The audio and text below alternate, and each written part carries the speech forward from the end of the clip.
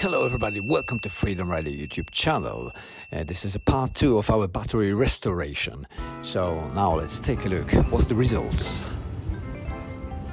So that's how it looks like when the process of restoration is completed.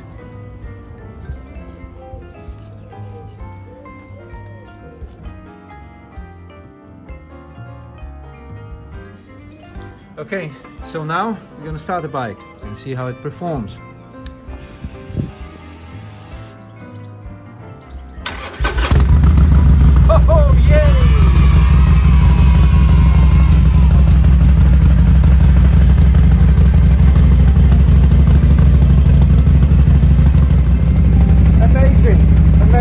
love that.